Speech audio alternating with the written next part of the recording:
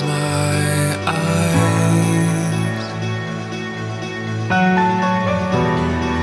There's a question deep inside.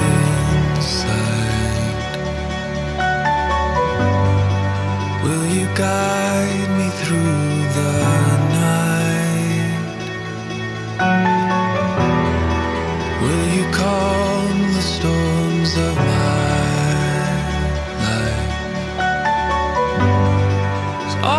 these walls I've built are comfortable.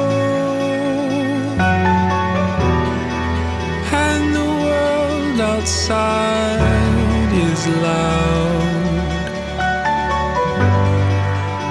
When the voice I trust is fear and doubt,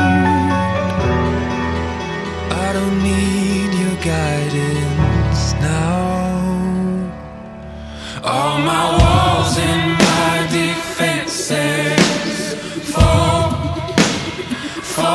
to